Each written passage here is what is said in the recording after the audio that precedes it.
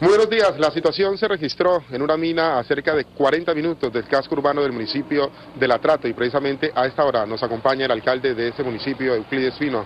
Alcalde, la situación en este momento, el reporte que le han dado, ¿cuál es? El reporte que, le han dado a nuestro municipio es, el reporte que le han dado a nuestro municipio son de aproximadamente 8 muertos y dos heridos. En el momento hay oficialmente confirmados dos muertos y los demás se encuentran desaparecidos. ¿Qué le han dicho? Al parecer, ¿qué fue lo que ocurrió? ¿Cuántas personas más o menos habían en esta mina? En esta mina había aproximadamente unas 18 personas. A la una y media de la mañana se vino una luz de tierra y selló totalmente, eh, selló totalmente la mina. ¿No se han trasladado todavía heridos acá a la ciudad de Quito? Se trasladaron dos personas heridas y los dos muertos están confirmados en el cementerio y se andan buscando los otros eh, muertos que existen en este momento.